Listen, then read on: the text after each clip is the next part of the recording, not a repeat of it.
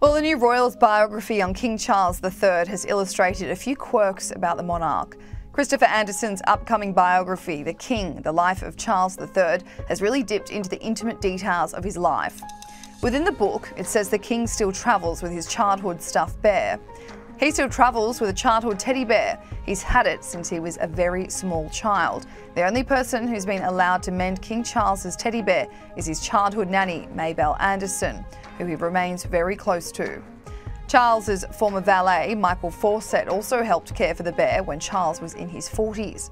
He further explained Charles's relationship with his nanny, Mabel. Mabel was the only human being allowed to take needle and thread to Prince Charles's teddy bear.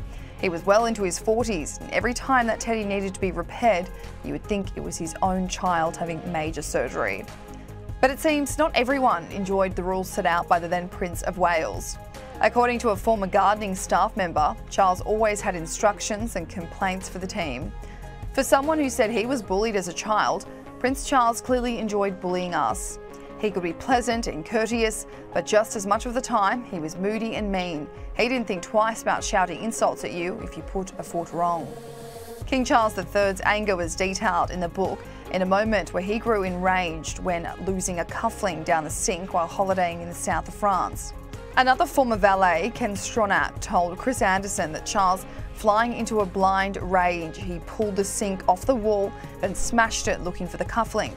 Unable to find the missing jewellery, a wild eyed Prince of Wales spun around and grabbed his valet by the throat.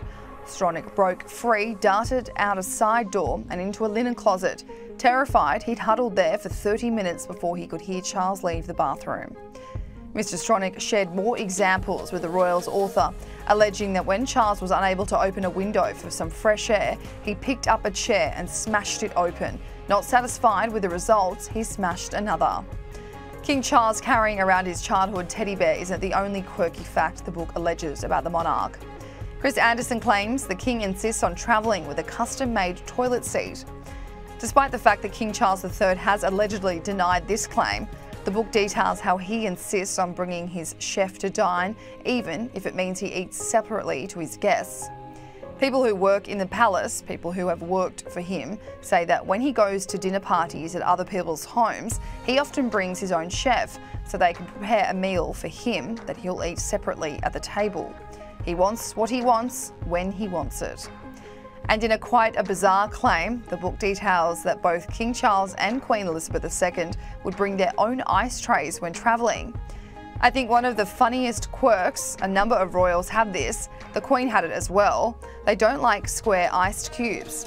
They carry around ice cube trays. They have them brought with them wherever they go because they don't like the clinking sound that square cubes make.